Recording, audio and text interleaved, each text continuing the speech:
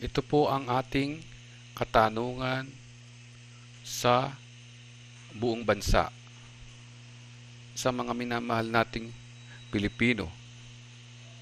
Saan man sila naroroon sa mundo. Bakit hanggang ngayon ayon sa National Historical Commission ay walang batas Walang kahit anumang pag-uutos.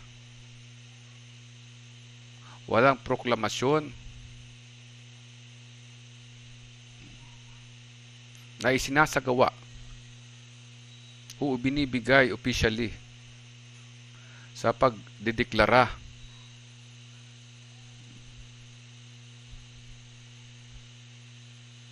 na meron talagang kasaysayan ang Pilipino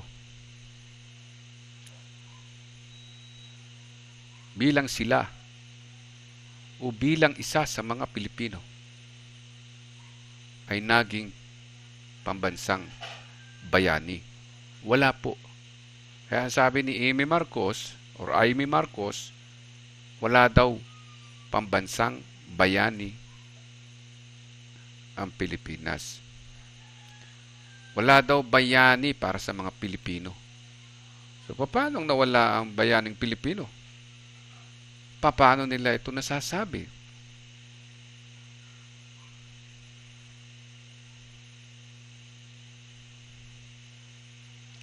So, yan po ang tanong. So, marami pong Pilipino na inchik o Chinese-Filipino ayaw nilang tanggapin na si Dr. Jose Rizal ay national hero ng Pilipinas. Eh bakit ayaw nilang tanggapin? Mas gusto nilang maging national hero dito sa Pilipinas ay hindi si Rizal, kundi yung ancestors ni Rizal. Dahil yung ancestors daw ni Rizal, sila raw yung founding father ng Pilipinas. Sila daw ang nagtatag sila daw ang gumawa, sila ang lumikha ng Pilipinas. No? Yung ancestors ni Rizal. Ano po? So, lumalabas sa ating pag-aaral na pinalalabas ng mga inchik, ano? Na sila pa ang may shared history sa Pilipinas. Yan po ang dahilan niyan. Walang Pilipino na nagbigay ng kasaysayan para sa bansa natin. Kundi yung China ang nagbigay ng kasaysayan para sa Pilipinas. Bakit? Kasi daw ang lulum o mga magulang ni Rizal, lolo ni si Rizal o mga ninuno ni Rizal ay sila daw, no? Ang founding father ng bansang Pilipinas. Ha? o ng bayan ng Pilipinas or State of Fujian Ancestors of China. Okay. din ang tangkaping bansa ang Pilipinas kasi gawa lang daw ito ng Inchik. Ah. No? At ang founding father ng Pilipinas, no? Ay hindi si Jose Rizal kasi apo lang siya. Kundi yung ancestors ni Jose Rizal kasi sabi niya, the ancestors of Jose Rizal. No? national hero in founding father. Manipulative po yan. No? Hindi na sinabing the ancestors and Jose Rizal, national hero and founding father. No? Sinabi na the ancestors of Jose Rizal, ha? minanipulan nila. No? National hero and founding father of the Philippines. So yung ancestors ni Jose Rizal, yun na po ang national hero at siya na po ang founding father, naka-insert lang si Jose Rizal. Intindihin niyo pong mabuti. Galing daw sila yung mga ninuno ni Jose Rizal sa Pujian. Sila daw po ang lumalang ng 7,641 islands. Kaya daw na paririto ang isang apo ng China na tulad ng People's Liberation General na si Yefe o Sixto Mercado uh, ang pangalan niya no sa Catholic name. Oh. So, merkado, may relasyon din kay Rizal, di po ba? So, nire-relate talaga ng mga inchik na magkakamag-anak mula sa Pujian ang naparirito sa Pilipinas para ipakipaglaban, ipakipagpatayan ha? ang bagong China. So, kailangan daw po magbigay ng dugo. Pag sinabing pakikipaglaban ang Pilipinas, magbibigay ng dugo, iaalay ang dugo ng mga general ng People's Liberation Army para gawing New China ang Pilipinas. Hindi ba kayo nababahala niyan? 52 years na tayo sinasalakay ng mga inchik. Pujian Chinese, si Juma Sison, taga Xiamen din, taga province of Pujian, tulad ni General Yefe. Hindi ba kayo nababahala niyan? Tahimik pa rin tayong mga katoliko. Na yung simbahan natin, ang daming binabautismuhan na Catholic Chinese, hindi naman naririt napunta sa Pilipinas para itayo ang Katolisism o ang bansang Pilipinas, kundi yung bagong China. So gusto nila maging komunista tayo na wala ng due process of law, papatayin ka na lang dyan sa kalsada at yan po ang gusto ng mga inchik, uh, mga kabataan makabayan. Pinapatay mga Pilipino dahil iniisip nila merong ang bayan. Okay? Ipinakikipagdigma nila ang Pilipinas hindi bilang bansa kundi bayan. Yan ang dahilan bakit ayaw ng mga uh, ah, Pujian Chinese na tulad ni Jose Marisison ng martial law. Ayaw nilang martial law. Bakit? Ha? Ah, kasi bayan ang pagkakilala nila dito.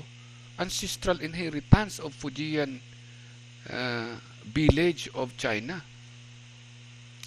So, yan po ang pinagmamalaki nila, no?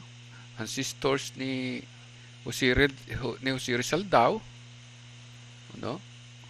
ang pinakang mahalaga dahil sila ang mga founding father ng Pilipinas. Ancestors ni General Yefe. No? So, hindi nila mahal ang Pilipinas kundi yung ancestors nila. Ganun po yan. Dapat maintindihan na po natin to. Kasi hanggat hindi natin minamahal ang kasaysayan natin o kasaysayan ng bansang Pilipinas, hindi tayo mamalahi, mamahalin ng inchik. Kasi dugo nila ang kanilang minamahal. Ano? So dugo nila, yung shared history daw ng inchik ay yung dugo nila. No? Ganyan po ang nangyayari. At uh, yan po ay tanggap na ng Nat- Nas- National Historical Commission. Tanggap na na tayo ay utuin, na tayo ay paikutin sa dulo ng kasinungalingan ng inchik. Ano? Dapat uh, tandaan po natin na lahat ng karamihan presidente after World War II, ano? karamihan dyan ay mga Chinese-Filipino na galing sa Pujian tulad ni Arroyo. Ano? Yan po ang dahilan bakit gumagawa ng kasaysayan dito, ng peking kasaysayan. Nauuto tayo ng mga Fujian Chinese, ano? So, ito pong listahan na ito ha, ng Chinese-Filipino. Sila po ang nag-imbento na ang Pilipinas ay wala sa Sea of the Orient. Hindi ito matatagpuan sa uh, region of the sun. Kundi matatagpuan ito sa bloodline ng Pujian ancestors. Yun po ang ibig sabihin niya. No? Ayaw nilang tanggapin na ang Pilipinas ay malayang bansa, kundi malayang bayan. Gusto nila palayain ang bayan at mamatay sila para sa bayan. Ayaw nilang tawaging bansa. Bakit ayaw tawaging bansa ang Pilipinas? Kasi gusto nilang sakupin ang Pilipinas. Diba? Matagal na sinasabi niyan ni Duterte paulit-ulit. No? Na yung mga sisters nila ni Bongo diyan sa Pujian, ang founding father ng Pilipinas at yan din ang pahayag ni Xi Jinping. Bakit ayaw pa nating maniwala na tayo niluloko nitong mga mambubudol ng mga inchik na ito? No? So napayag tayo na tayo ay utuin, linlangin. Ah, di ba?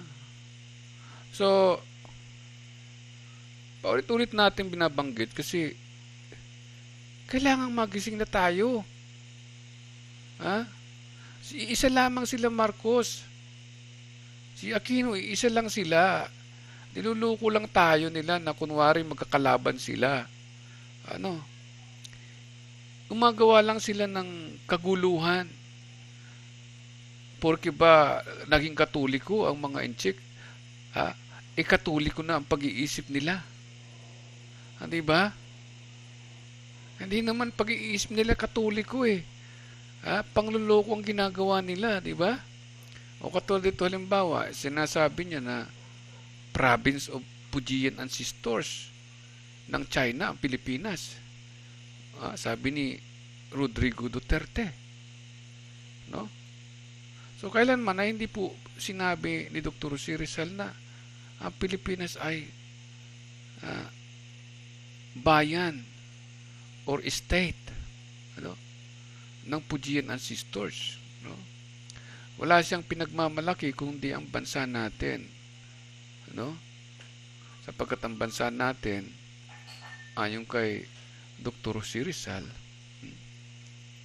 ay hindi state of Chinese ancestry or Chinese Filipinos. No? Hindi ito state ni Domingo Lamco. No? So, ito po si Domingo Lamco, ang ginawa, ginawa nilang pain at itong si Eusebio Lopez. Ano? So, ganun po yan. No? Gumagawa sila ng kasaysayan hindi para sa Pilipinas o para sa Pilipino, kundi para sa ancestors of Fujian province of China. No? So, hindi po ganyan ang sinasabi ng ating pambansang bayani, no? Na panguto nitong mga Chinese Filipino sa atin. No? Walang sinasabi si Dr. Osiris Rizal ah, na ang kanyang bansa ay is, nasasaklawan ah, ng ancestors of Fujian province. Ano? Ang sinasabi niya, ang Pilipinas ay nasasaklawan ng nag-iisang Diyos. O, sino ba yung Diyos na sinasabi ni Dr. Jose Rizal? Di ba? Yan ang ayaw matanggap ng mga inchik. Ang gusto nila, yung juice natin, galing sa China. Sa ancestors nila. Pwede ba mayroong juice na galing sa Chinese ancestors? Diba? Wala naman, di ba? So, yan ang dahilan. Eh, anong dahilan bakit gusto nilang mapasa kanila ang Pilipinas?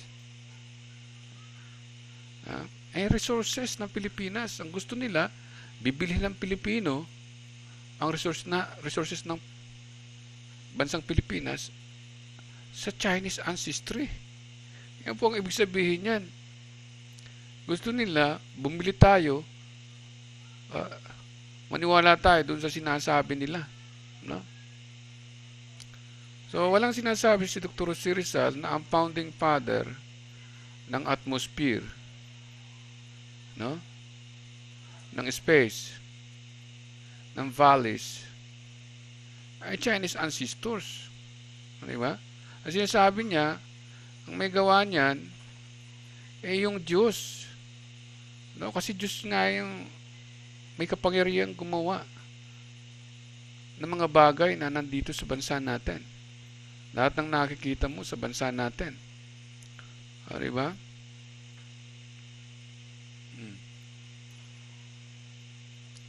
So, yan ang hindi matanggap ng mga inchik. No? Ayaw nilang maging bansa ang Pilipinas, kaya gusto nila gawing bayan. Ha? Gawing bayan nila ang Pilipinas. So ano po ba ang sinasabi ni Dr. Si Rizal bago siya nalagutan ng hininga? Walang iba kung hindi pagmamahal sa ating Diyos panalangin sa ating Diyos. Sapagkat walang ibang makatutubos, makapagliligtas sa Pilipinas kung hindi yung ating panalangin at yung awit sa ating Diyos. Makakapahinga lamang tayo sa kaguluhan. Magiging payapa lang Pilipinas kung tatawag daw ang bansa natin at mananalangin ay sa ating Diyos. No?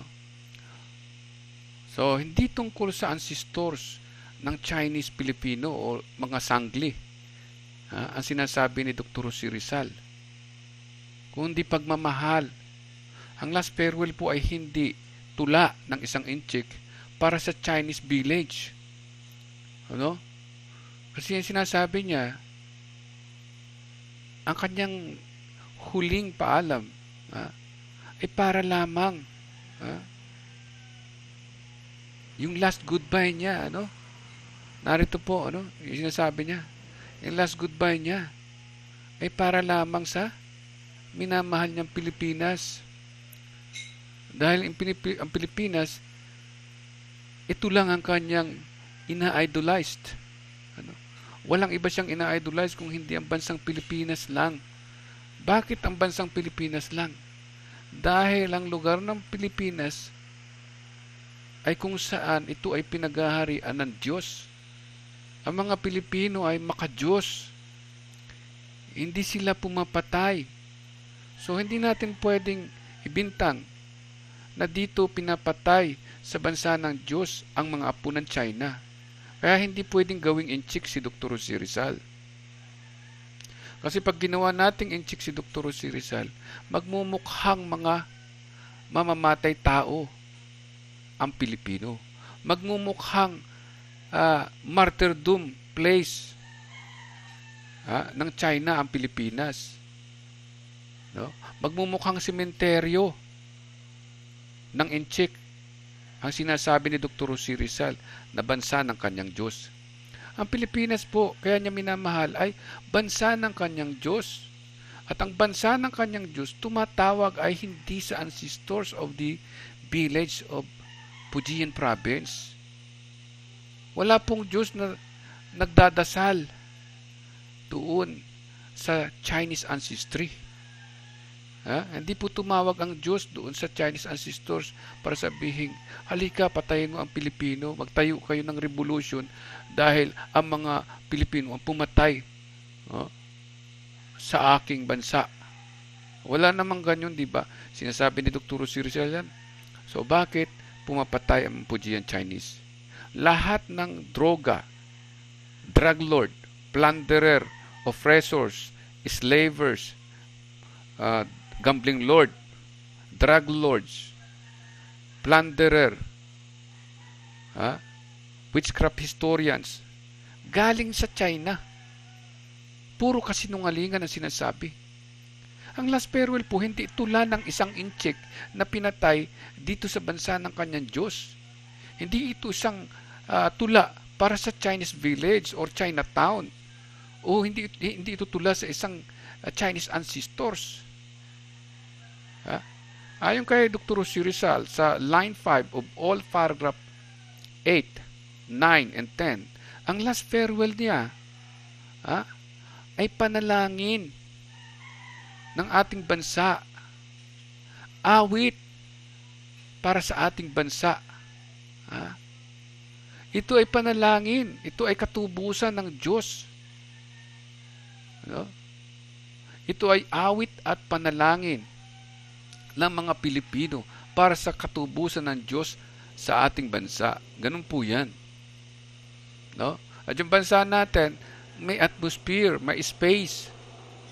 Ah, pag sinabing atmosphere, mat, mano po yan, ano? Malawak yan, ano? Hindi yan basta-basta sasabihin mo yung atmosphere, yung space, ano, yung valleys, hawak ng Chinese. No? At ang gusto ng Chinese, ang i-idolize ay sila. Hindi yung bansa natin. Hindi yung Diyos natin ang ating sambahin. Kung hindi yung communist ideology. Pag sinabing bansa ito ng Diyos, dapat igalang mo ang mga Pilipino. No? Respeto mo ang mga Pilipino sa kasaysayan ng Diyos nila sa bansang ito.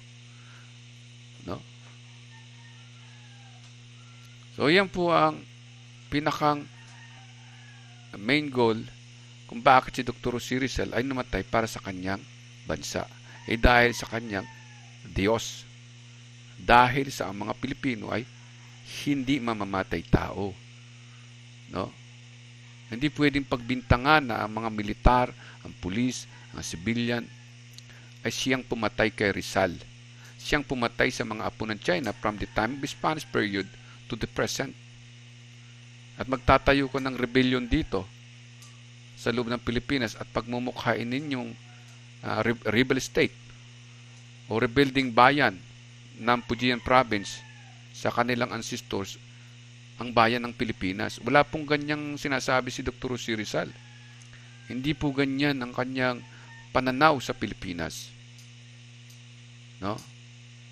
ang pananaw ni Dr. Sirsal sa Pilipinas, ang mga Pilipino, ang mga anak ng bansang Pilipinas, ay mula sa Diyos, ipinanganak ng Diyos mula sa kanyang hininga, mula sa kanyang anyo. Yan po ang ibig sabihin ng last farewell niya. Hmm? Farewell, beloved country, treasured region of the sun. No?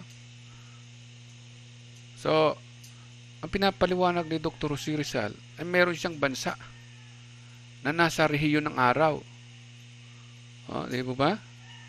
Wala siyang sinasabi na meron siyang bayan no, na matatagpuan sa Chinese village. No? Meron siyang magulang at lolo na matatagpuan mo sa loob ng dugo ng inchik. Ano sinasabi dito? Meron siyang kaibigan. No? Sweet foreigner. No? Na matatagpuan mo sa bansang Pilipinas. Pero sasabihin mo si Dr. Rosie Rizal, yung magulang niya ay foreigner din, ay hindi pwedeng gawing inchik talaga si Rosie Rizal. Hmm. Kasi nagpaalam na nga siya sa foreigner eh. Tapos sasabihin mo siya yung foreigner, si Dr. Rosie Rizal yung foreigner. Kasi ang gustong i-process ng mga incheck uh, ay yung China at yung Pilipinas, iisang perlas na nasa dagat ng malayong silangan. Iisang Eden of God. Pwede ba yon na yung Chinese ancestors, sila ang gumawa ng Eden of God? Ha? Yung Diyos na nga ang hari dito, ang gusto nila. Pagharian nila yung Diyos natin at yung bansa natin at sabihin nila, State of Fujian Chinese, Rebel State, Chinese Cemetery, Martyrdom Place na mga Inchik ang Pilipinas at inaapi ang mga Inchik sa Pilipinas. Yan po ang dahilan. No? Binabaliktad ng Inchik ang history. Ang gusto nila na mangyari, paniwalaan natin, na si Jose Rizal ay apo ng China na pinatay ng Diyos, na inapi ng mga Pilipino at binaril. O, oh, ngayon po yung tsuri ng PDP laban. No? So yung misteryo ng pagkamatay ni Aquino, isa po siyang Pujian Chinese. Ano? At co-founder ni Duterte. No? Lahat po ng PDP laban. Sila po ang gumagawa ng history. Mga Pujian Chinese po sila. Ano? Walang ganyang kasaysayan na gawa mo ng history ng Pujian Chinese yung bansang pinaghaharian ng Diyos. Mag-imbento kayo. Tama ba? Mali.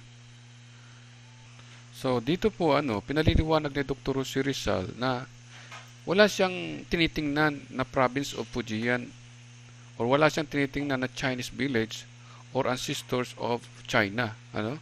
Ang tinitingnan po niya, no, sa rehiyon ng araw. Ah, niyo po, ha? Okay? Ay, yung minamahal niyang bansa.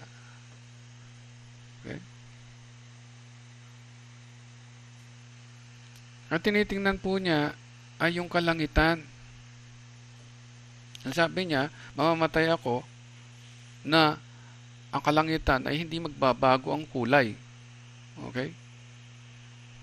Hindi mo pwedeng ibahin ang, ang history ng Pilipinas.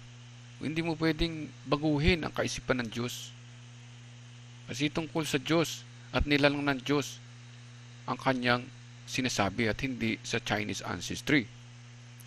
So, ang kanyang mga pangarap, ano? ay para lamang sa bansang Pilipinas na dapat ang bansang Pilipinas ay puno ng buhay. Ano? So, ibig sabihin, bawal kang magtatag ng revolutionary government, papatayin mo ang Pilipino dahil sasabihin mo, pinaghihigantihan mo ang mga Pilipino dahil pinapatay ang mga puno ng China katulad ni Rizal. No? Ayaw ni Dr. Si Rizal na ang bansa niya ay pagbintangan na uh, martyrdom state, rebel state, no? or uh, battlefield ng Chinese ancestors na pinakikipaglaban ng patayan ang bayan ng Pilipinas dahil sa kanilang ancestors. Hindi ganyan ang pananaw ng ating pambansang bayani sa Pilipinas. No? Dito pa lang sa line 2 of paragraph 1, isang pagrespeto na ang inihingi ni Dr. Si Rizal sa bansa natin. Dahil tinawag niya itong Eden. Bakit tinawag na Eden? Banal ang lupa ng Pilipinas. No? Banal ang pagkakakilala niya. No? Sa bansa natin na dapat irespeto at hindi sakupin ng mga in cheek, no? Ganun po 'yan.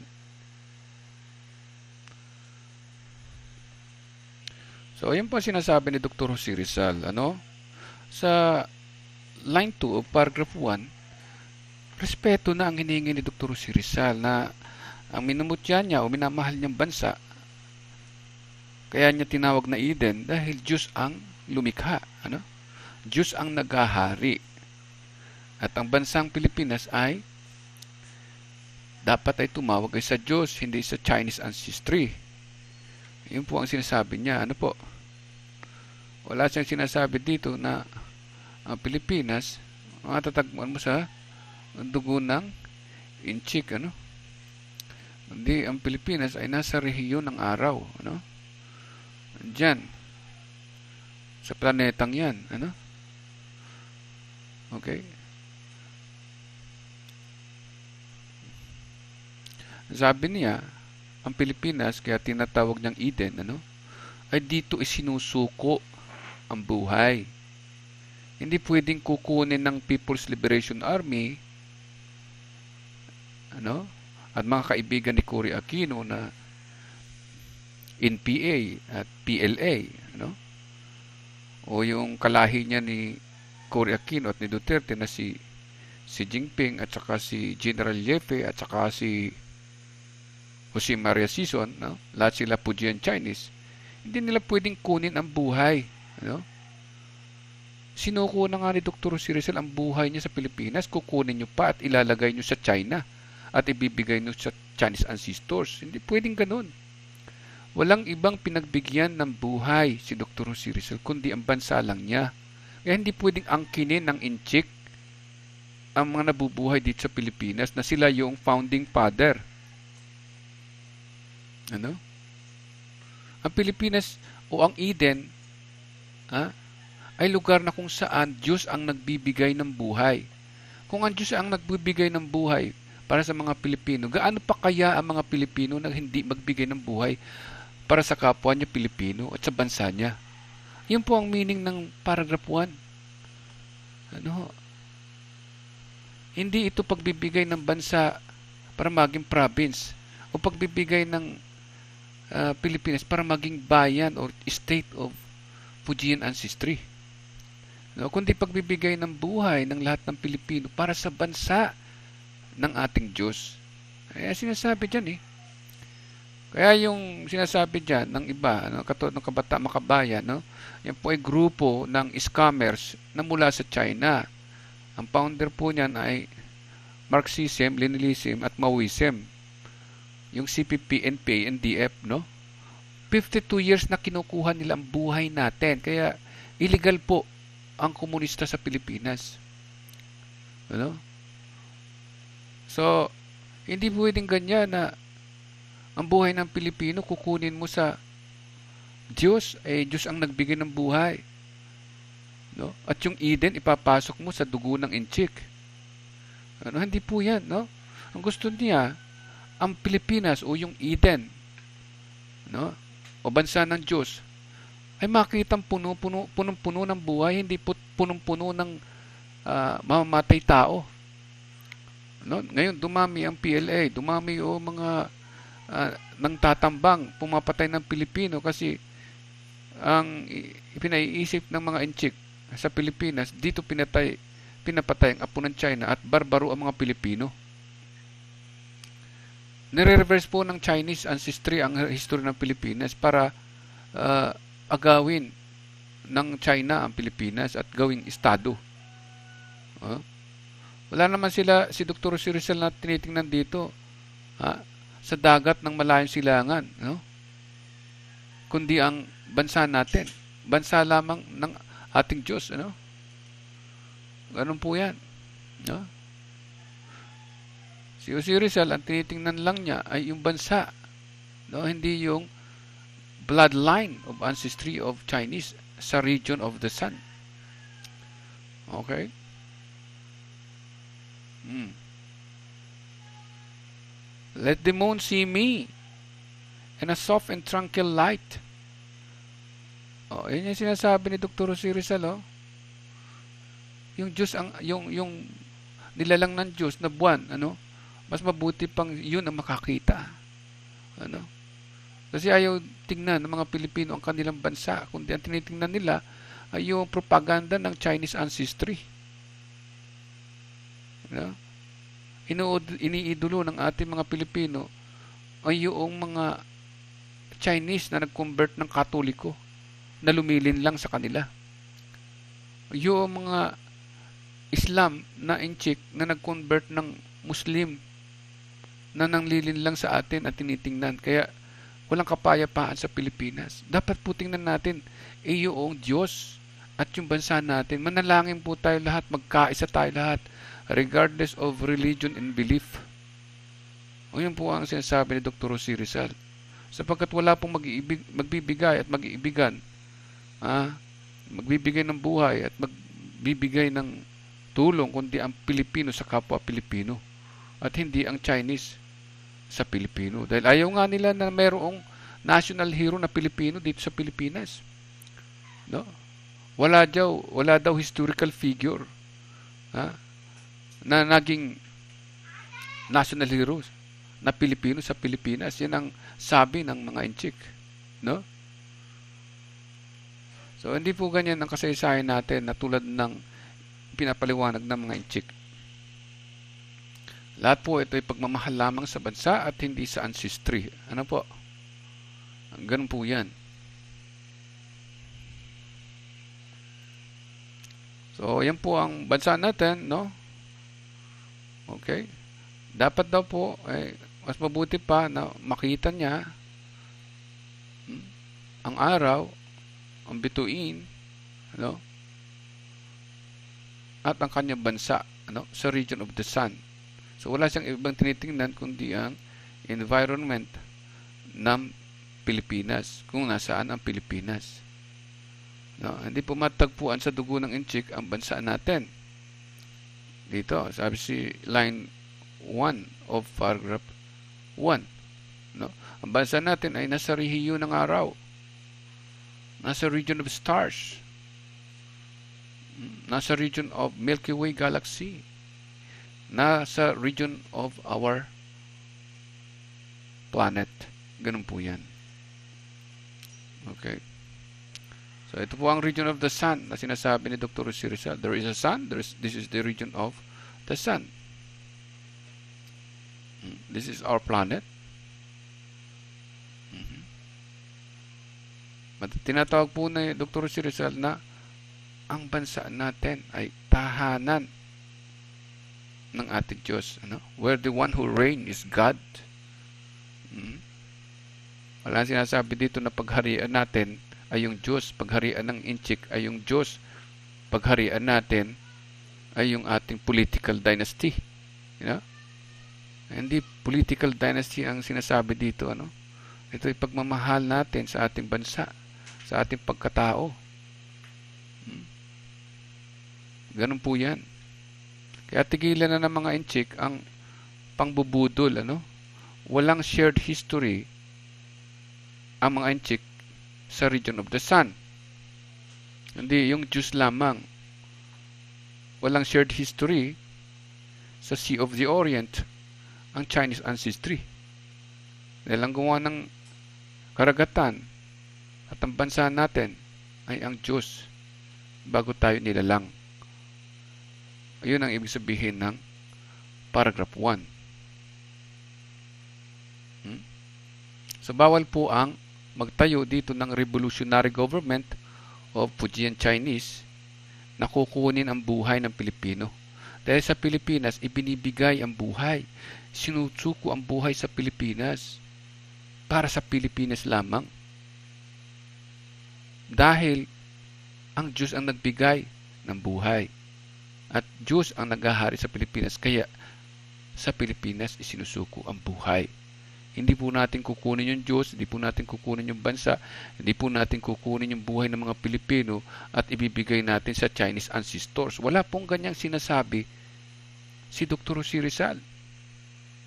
Hmm? Nakawan mo yung Pilipino ng tax, nakawan mo ng mga lupain at karagatan, habang katapos sasabihin mo, hero ang Inchik? Walang ganun, no? Na magiging national hero ang Chinese kapag kinuha mo yung Diyos, pag kinuha mo yung buhay ng Pilipino, magiging national hero ang Chinese uh, historical figure from Fujian province of the village of China. No? Gusto niyo si Rizal makita na punong-puno ng buhay.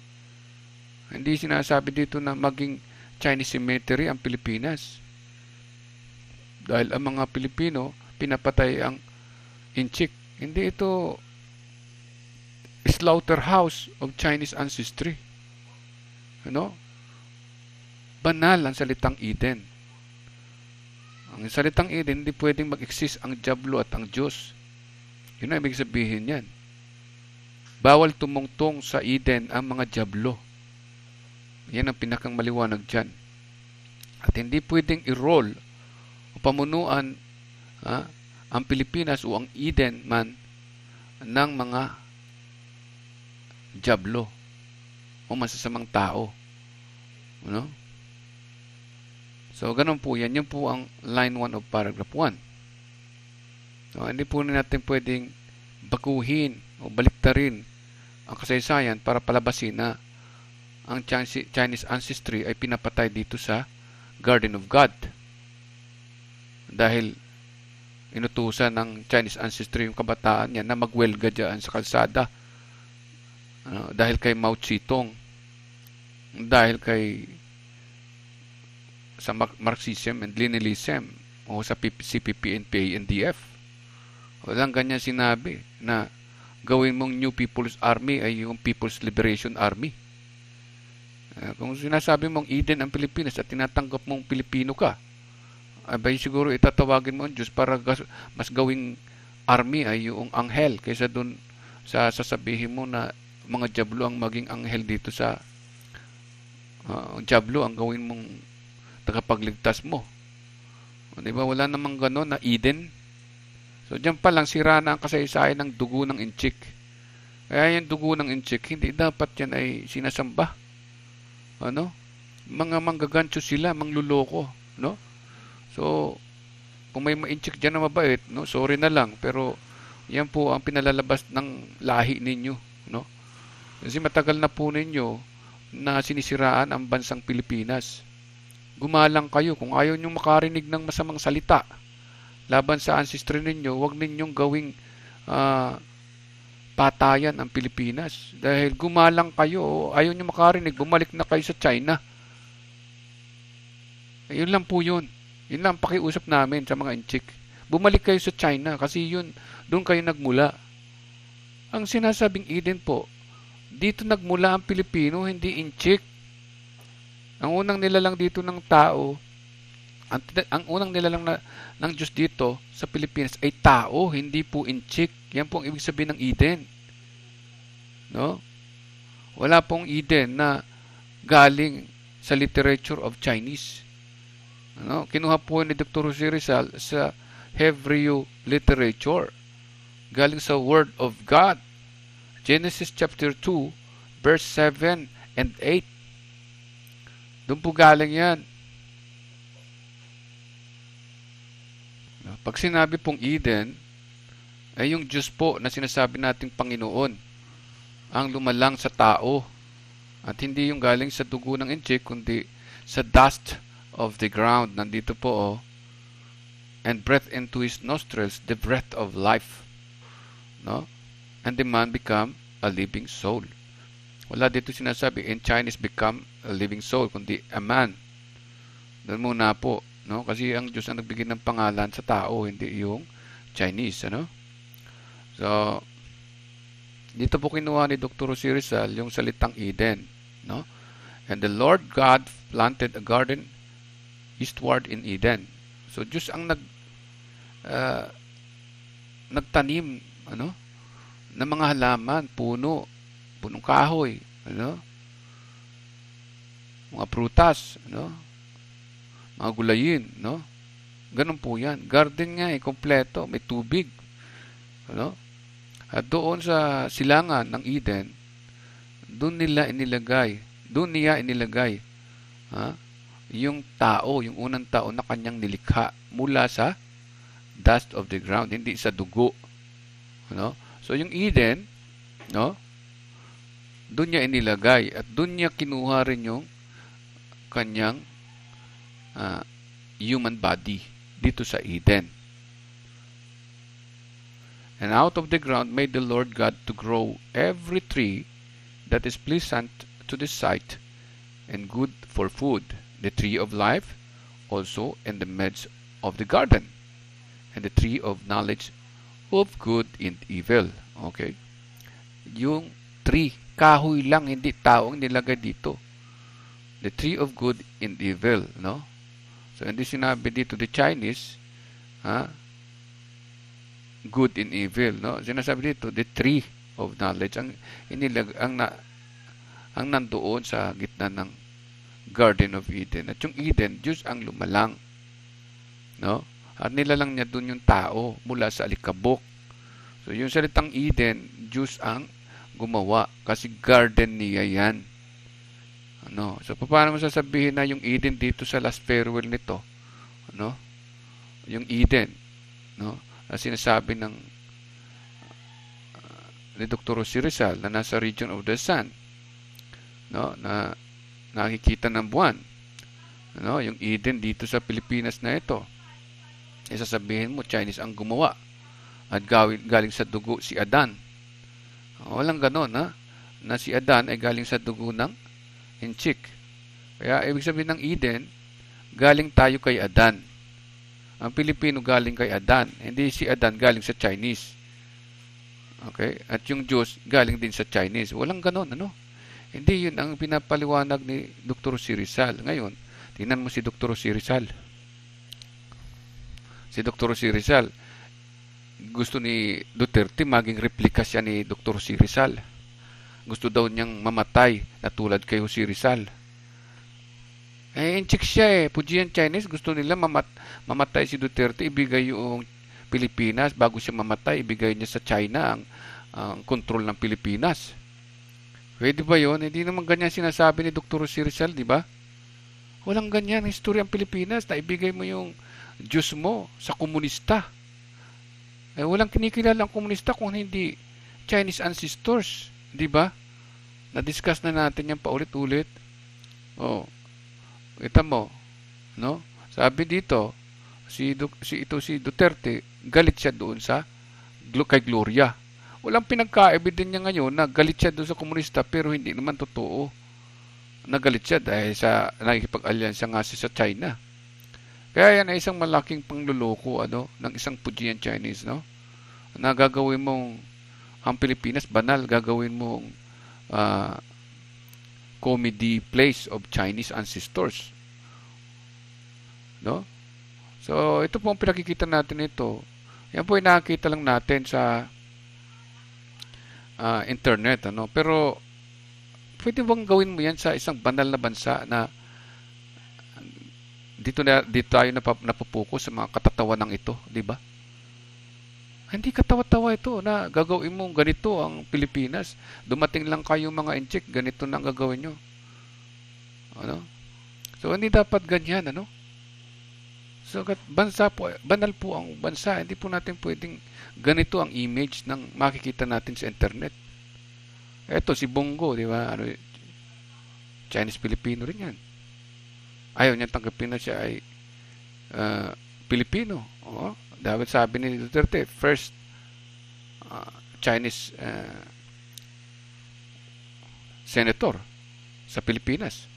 So ayaw nilang hindi nila ginagalang ang Pilipinas ano Katulad nito, pinipikir nito eh, ng mga kabata makabayan na miyembro daw si Andres Bonifacio ng Leninism, Marxism at saka Maoism.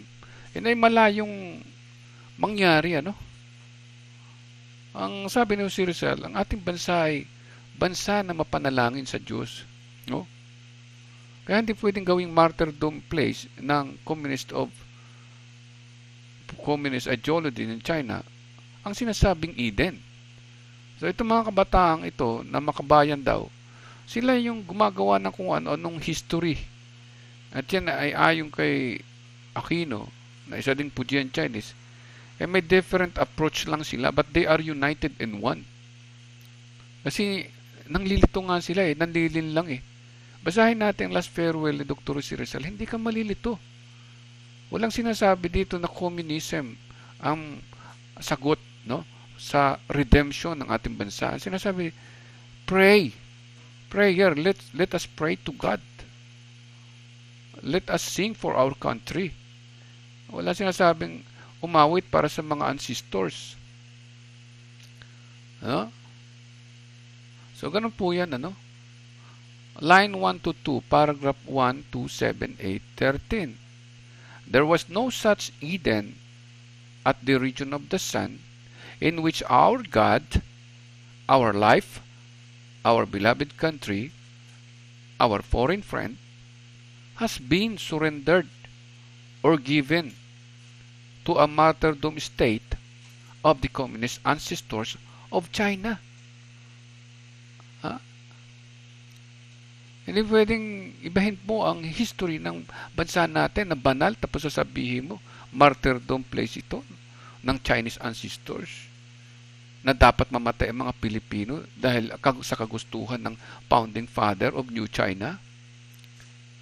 There was no law of nature that the region of the sun has a travel history with our God and our country. Hindi po gumalaw dun sa region of the sun at kahit yung region of the sun, hindi po gumulaw para lamang tingnan at bisitahin nila yung Chinese village glorifying historical figure of Fujian ancestry from trace of Chinese bloodline at Henan, China. Hindi po gumalaw ang bansa natin.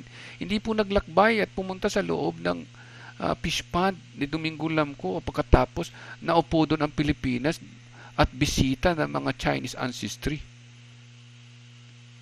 At sinabi, sinabi ni Domingo Lamco, Diyos, maupo ka dyan sa kanan. Kanan ko, ikaw, Pilipinas, umupo ka sa kaliwa ko. Ikaw, Sea of the Orient, diyan ka lang sa palasda, palaisdaan ko, sa South Pond ng aking uh, mga kalululuhan na si Chuwashukto na galing sa Hinan. Bisita ko kayo. Magsisamba kayo sa aming ancestors. Wala namang ganun, di ba? Hindi gumalaw. So, yun ang malaking sindikato, no? Yun ang gumagalaw. May ultimo module line 4, paragraph 14. Ano ba ang sinasabi? And line 1 to 2, paragraphs 1 and 13. And line 5, paragraphs 1, 8, and 13. Ayon sa mga line o paragraph na yan, hmm? ang sabi dito, Dr. Jose Rizal has no foreign blood of ancestry. And Dr. Jose Rizal has no foreign village being idolized greater than the sovereign nation of our God. Hindi siya sumamba. Ha? Hindi niya inidolize ang Chinese village. Ha? Ang bansang Pilipinas lamang nasa line 1 and 2 ng paragraph 1 and 13 Huh? Isa lang ang inidolize niyang bansa.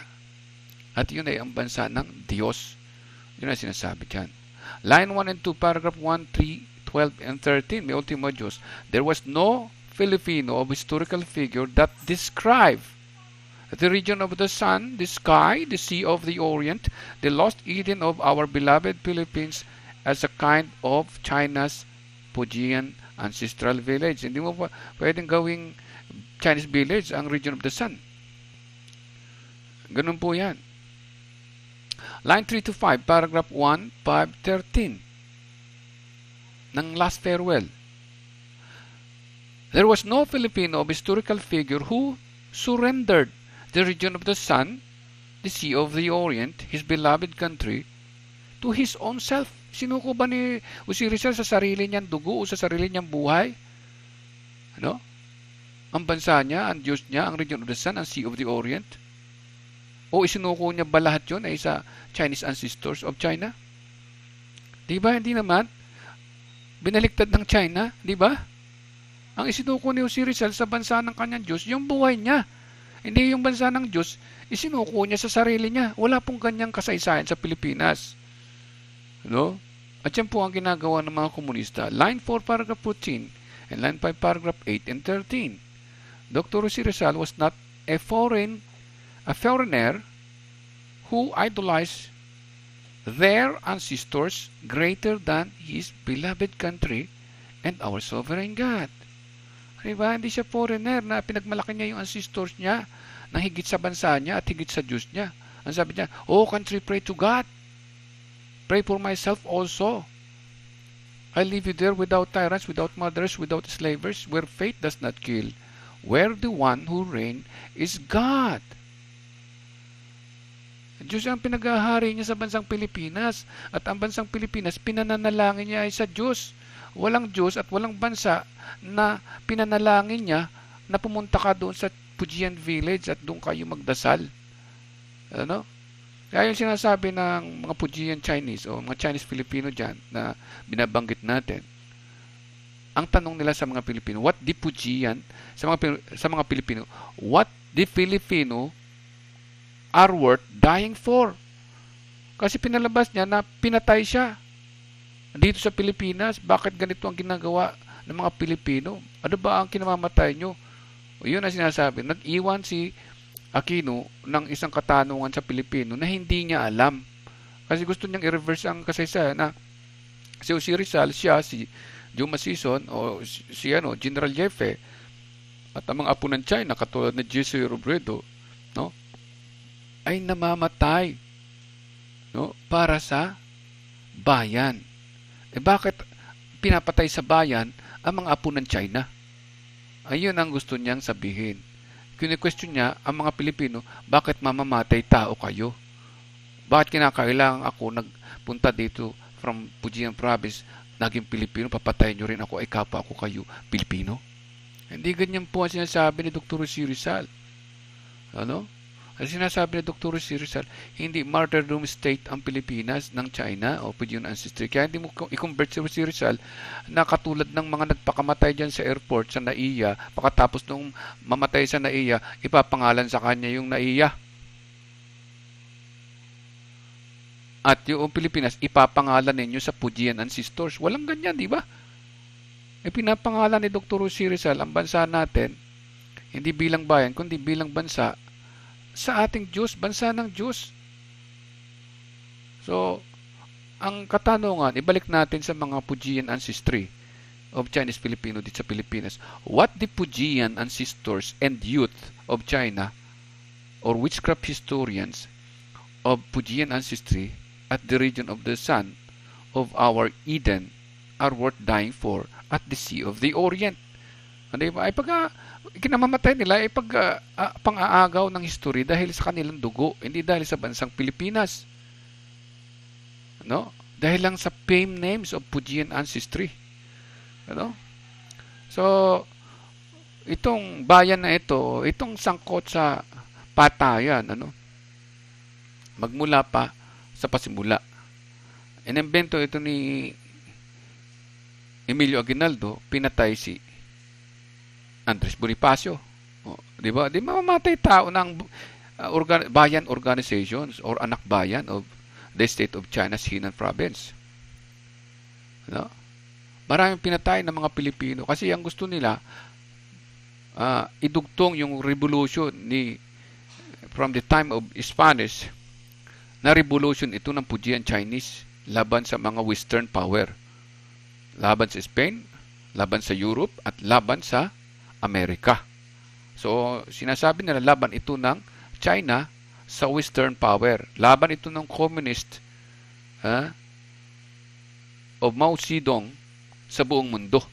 Hindi naman niya sinasabi ni Dr. Si na ideology ng Chinese ancestors na communism, pagpapanggap, ha, deceptions, extortion, slavery, oppression, ambush, extortion, piracy of human identity, extrajudicial killing of his countrymen.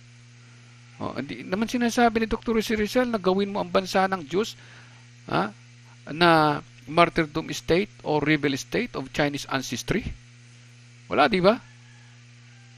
So, sasabihin dyan ng mga fact, fact checker, ano, ano mali daw itong sinasabi natin? Paano tayo magkakamali? Eh, ito nga sinasabi ni Dr. C. Rizal. Si O.C. Rizal na mismo ang source natin. Hindi yung Pujian Ancestry.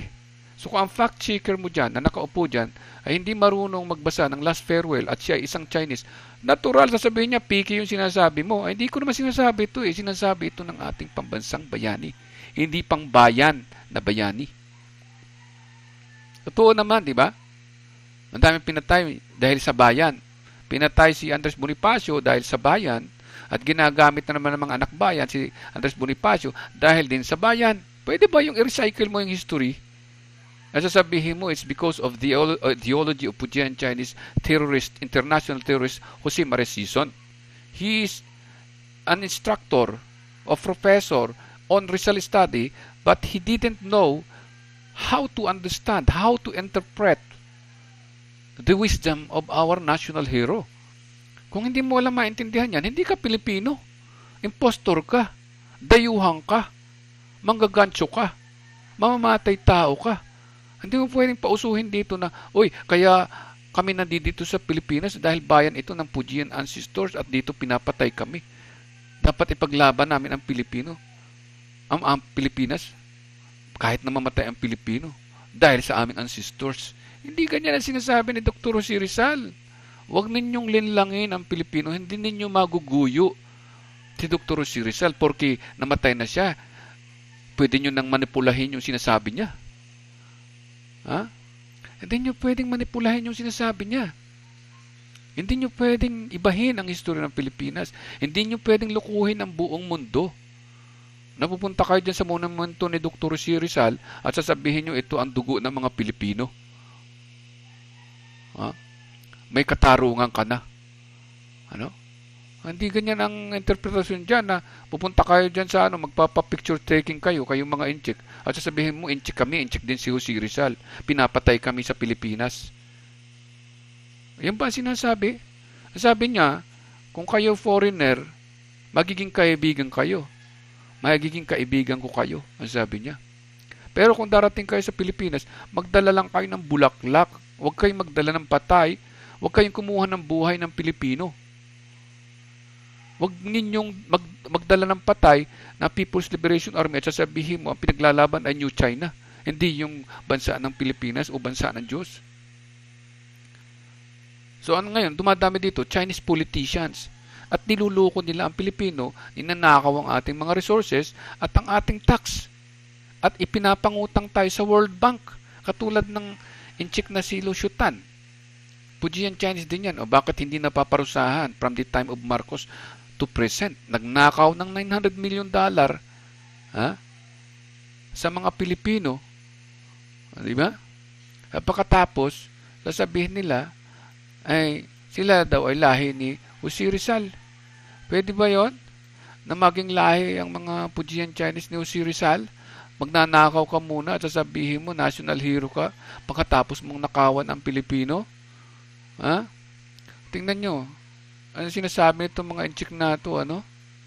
Sila daw yung... Oh. The information that it needs. Oh. Pakinggan natin, ha? What if I told you that the most powerful banking entity in the world was laundering money?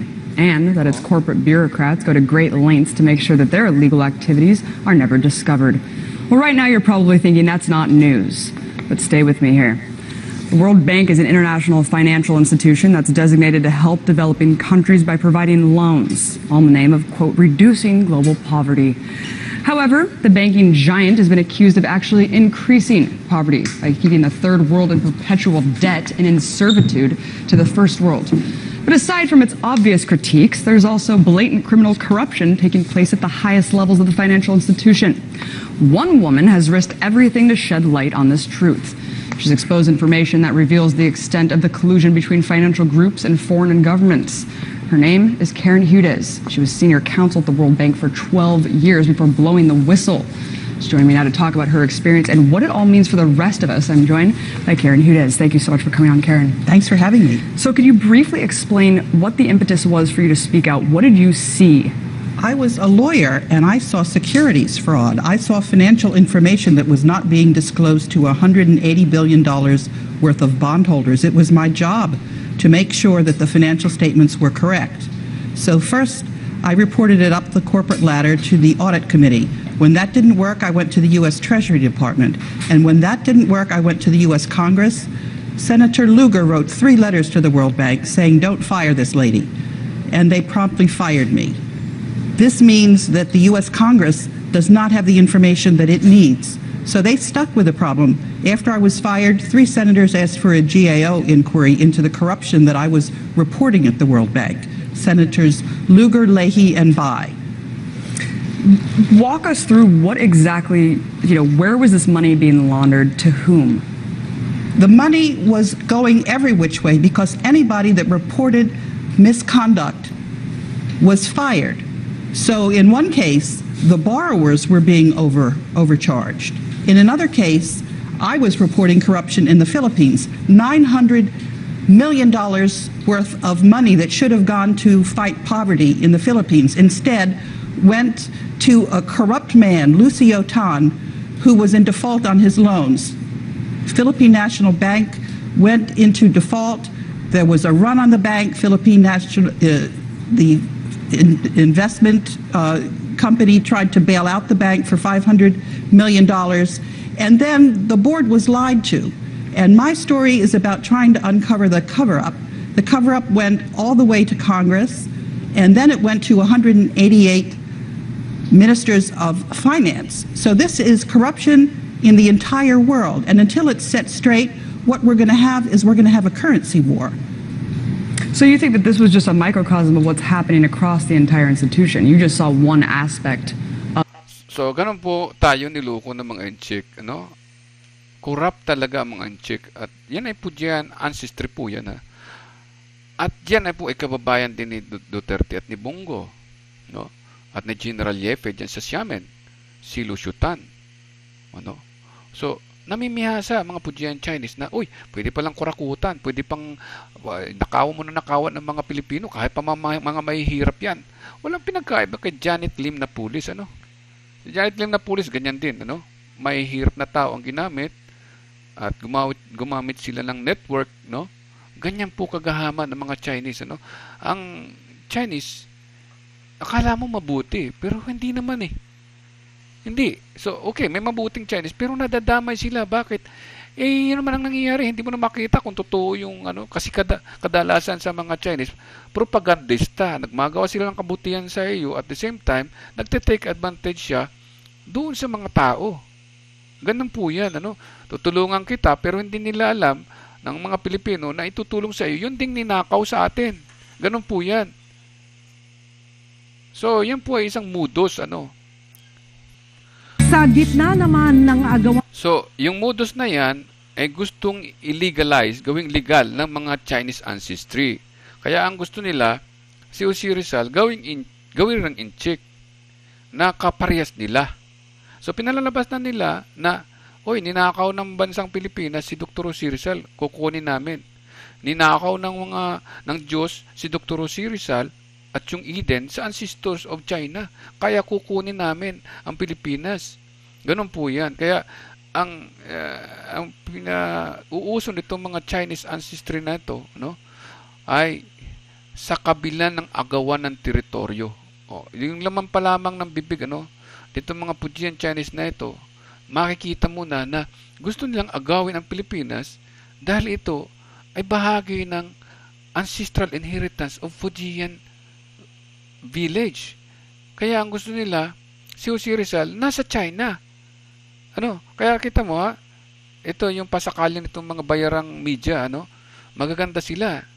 Ano? Pero sila, bayaran lang din. Nagsasalita sila ng para sa China, hindi para sa Pilipino. Tingnan nyo ang propaganda. Ha? Ano naman ng...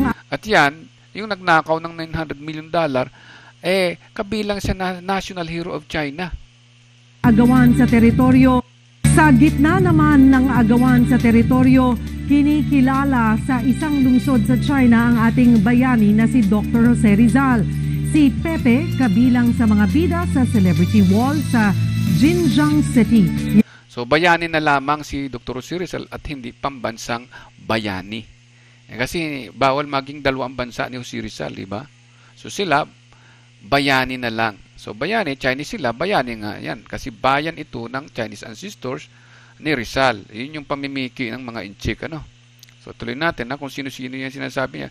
Pero pwede bang maging bayani yung nagnakaw ng 900 million dollars? Di ba bawal sa Pilipinas yung demonyo? Yan ang inaksyonan ni Michelle Orosa Ople. Ang Jinjiang City sa Fujian Province ng China ay isa sa mga tinatawag na economic powerhouse ng China parte ng tinatawag na Maritime Silk Road na sentro ng kalakalan. Pero sinong mag-aakala na sa gitna ng maunlad na syudad ay binibigyang pugay ang ilang mga Pinoy? Sa celebrity wall na nagtatampok ng kasaysayan ng Jinjiang, makikita ang isang mukhang kilalang kilala ng mga Pinoy, si Dr. Jose Rizal. Dito raw kasi nanggaling ang ninuno ng ating pambansang bayani na si Domingo Lamco o Kei Yinan sa Chinese. Nag-migrate si Lamco sa Pilipinas at naging isang kilalang negosyante.